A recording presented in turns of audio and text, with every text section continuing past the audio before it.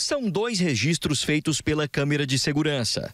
No primeiro, um furto acontece. No outro, um homem desolado por ter perdido o dinheiro das vendas de todo o fim de semana.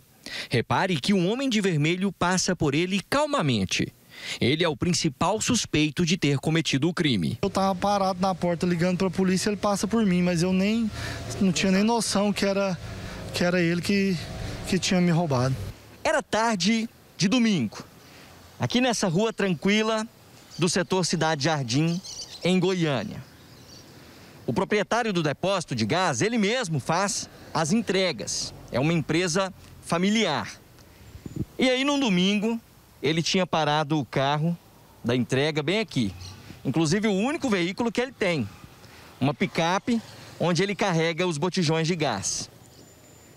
Tinha parado aqui para fazer uma entrega.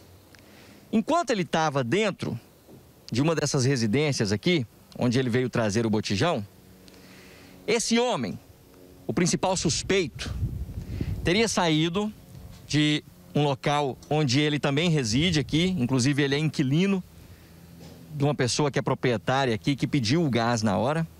Ele é o principal suspeito, inclusive a polícia, pelas imagens, até já o identificou e agora o procura. Ele teria saído, viu o carro aqui dando sopa, de bobeira, sozinho, entrou dentro do veículo. E aí ele foi mexer ali, quando ele abriu o porta-luva, tinha uma pequena bolsa. Nessa bolsa estava o rendimento de todo, de todas as vendas de gás e água do fim de semana.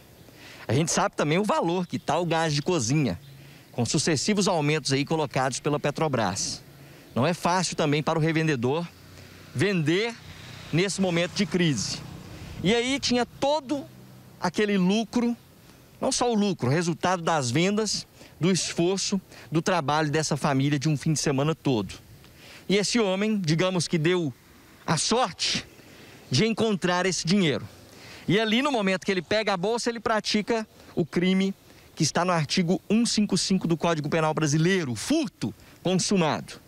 O principal suspeito do furto volta para o local onde ele mora. E aí, pelo vídeo, dá para a gente ver, depois que o homem se dá conta que foi furtado, esse suspeito troca de roupa e passa por ele como se nada tivesse acontecido e vai embora. A polícia foi acionada.